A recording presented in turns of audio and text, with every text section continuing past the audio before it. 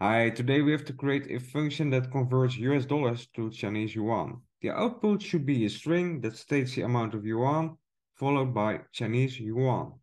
The conversion rate you should use is 6.75 Chinese yuan for every US dollars. All numbers should be represented as a string with two decimal places. How to go about this? Well, first of all, let's deal with the conversion and let's put it in a variable named conversion. It should be US dollars multiplied by the conversion rate. And then we should take care of the string. So we have the Chinese yuan and we have to place the conversion here.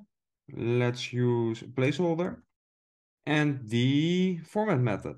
So what we can use is the format method after the string. And what we have to pass in is the actual argument and that will be the conversion. And what basically happens is that the argument will be placed in the placeholder.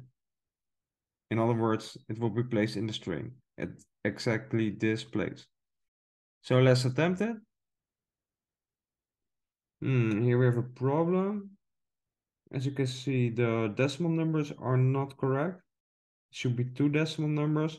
So what we can do in the placeholder is to take care of these decimals. It should be zero colon dot 2f, and then we'll take care of the decimal numbers. After every dot, there will be two decimal numbers, no matter what.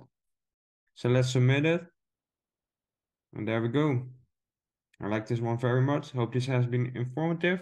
I hope to see you in another video. Ciao.